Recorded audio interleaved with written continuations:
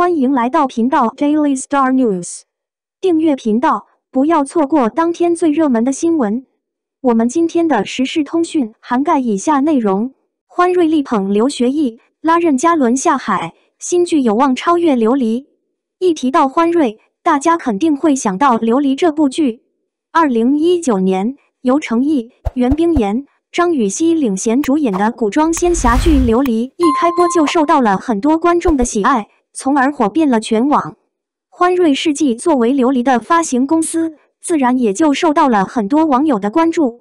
之后，欢瑞趁着琉璃的热度，开始力捧程毅，让程毅出演了《梦醒长安南风知我意》中。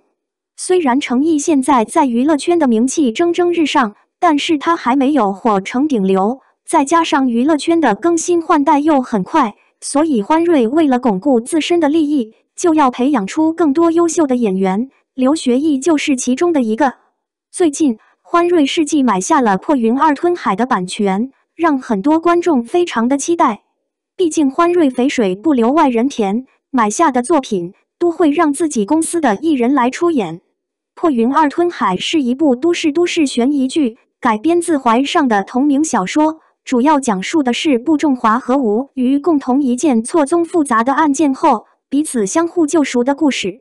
步仲华是吴瑜的上司，表面高冷又腹黑，实则情感细腻。步仲华之所以百般刁难吴瑜，是因为他有着鲜为人知的卧底生涯。步仲华对吴瑜严格，是希望吴瑜能够练就一身好本领，以备不时之需。而吴瑜是一个温和懦弱、寡言少语的新人警察，他只想做个按时领工资的普通人。破云二吞海剧情烧脑，人物设定有趣，肯定会带给大家很多惊喜。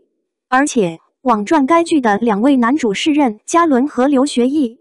任嘉伦是娱乐圈颜值与演技双在线的实力派演员，他在《大唐荣耀》《天机之白蛇传说》《锦衣之下》《秋蝉暮白首》等作品中都有出色的表现。这次破云二吞海由任嘉伦担任男主，无论是颜值还是演技。肯定不会让大家失望。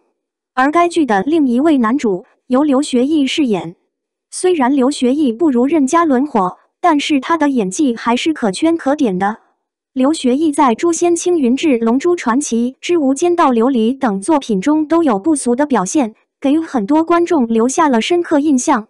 这次刘学义和任嘉伦强强联手，肯定会让《破云二吞海》成为一部爆款。甚至极有可能超越琉璃，再加上刘学义和任嘉伦曾经就合作过《天机之白蛇传说》《秋蝉》等作品，此次他们又合作《破云二吞海》，肯定会带给很多观众愉悦的视觉享受。